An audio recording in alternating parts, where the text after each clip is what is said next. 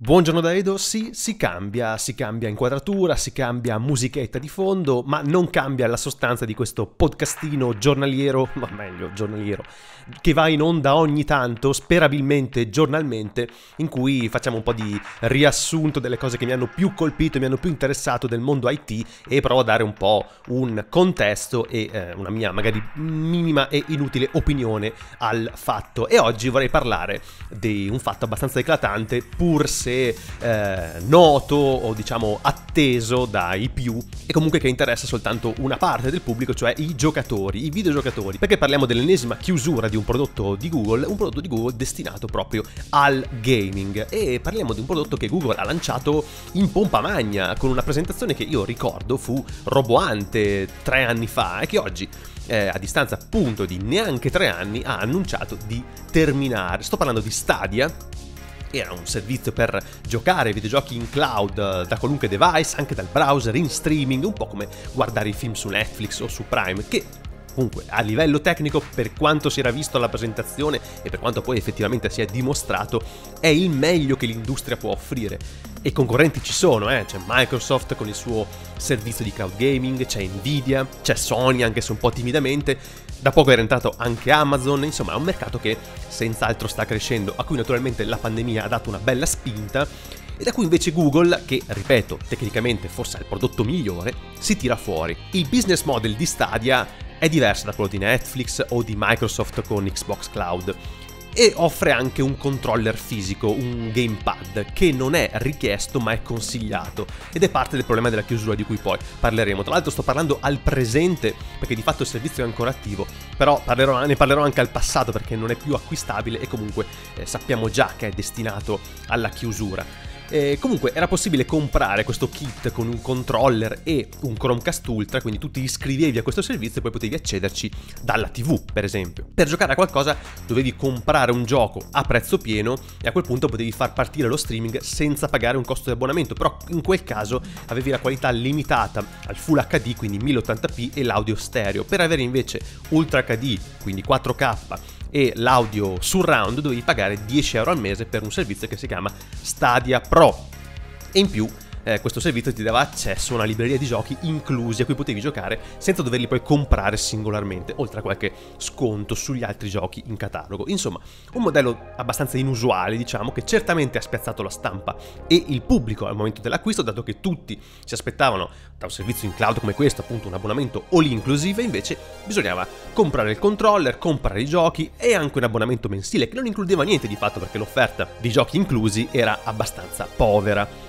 Aggiungete che il catalogo dei titoli che era possibile acquistare per giocarli poi su Stadia non è mai stato granché appassionante ed ecco che abbiamo una timida risposta del pubblico e una ancora più timida risposta della stampa specializzata e degli sviluppatori. Ah, il controller Stadia non era indispensabile di fatto, ma consigliato perché uno dei problemi tecnici del gioco in streaming che lo differenzia dallo streaming dei film è che hai anche i dati che viaggiano nell'altro senso, cioè gli input del giocatore e se passi, se devi passare del controller attaccati al PC come mouse e tastiera, devi considerare anche l'input lag dato dal tempo di processing degli input e di invio di questi comandi al server che poi nel caso di controlli Bluetooth o comunque di controlli wireless è ancora superiore.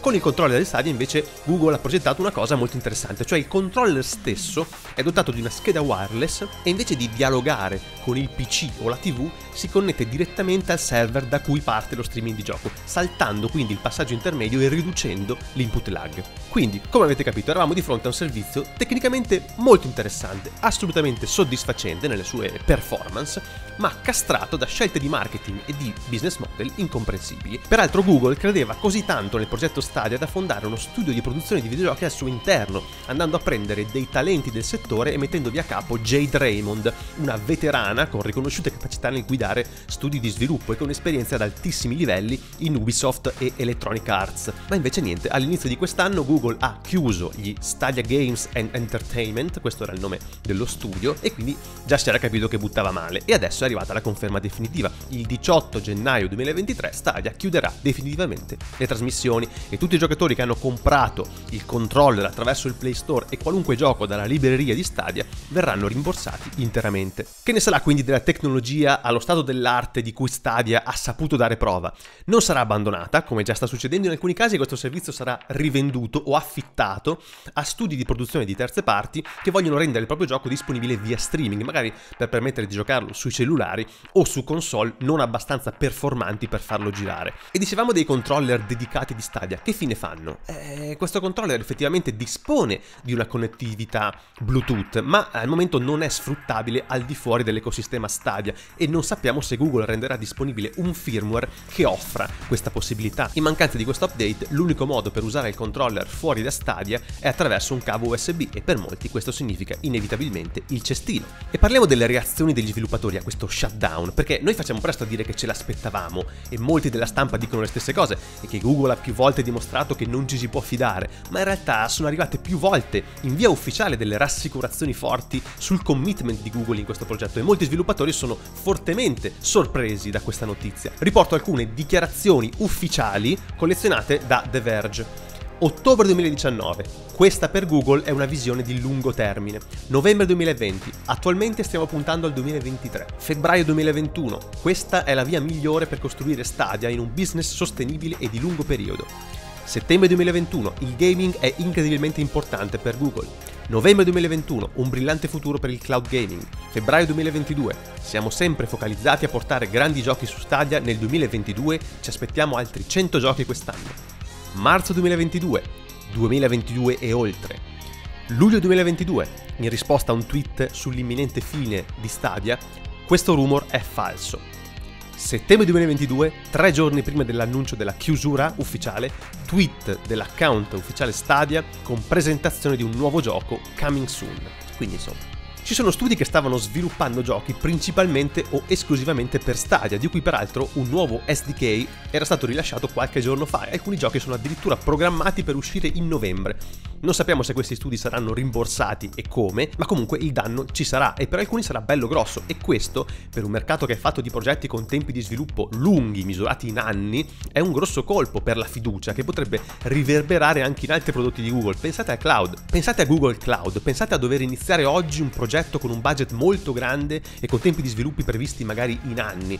Dovete per forza fidarvi del fatto che Google non decide di staccare la spina a GCP con qualche mese di preavviso. Ma perché Google ha chiuso chiuso Stadia. Ovviamente non lo sappiamo, la comunicazione ufficiale di Big G parla di una risposta troppo debole del mercato, però le vere motivazioni non sono note. C'è però un'ultima cosa che vorrei evidenziare che riguarda la tendenza di Google a lanciare e poi uccidere progetti anche molto popolari, pensate a Google Reader, e sono le testimonianze di alcuni dipendenti o ex dipendenti, alcuni anonimi, altri per niente, che hanno spesso raccontato di un meccanismo interno a Google per cui se cerchi premi e promozioni devi puntare al lancio di progetti, non al mantenimento o al perfezionamento. Google è composta da vari team che si occupano ognuno di un progetto.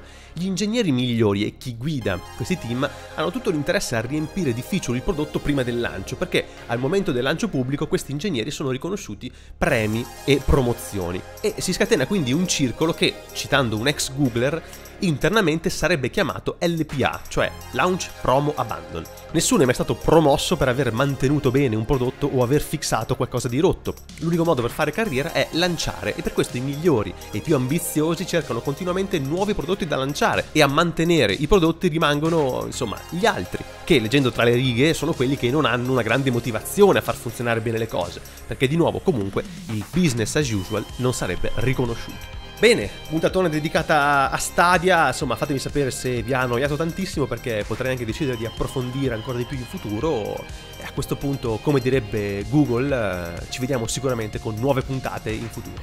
Ciao!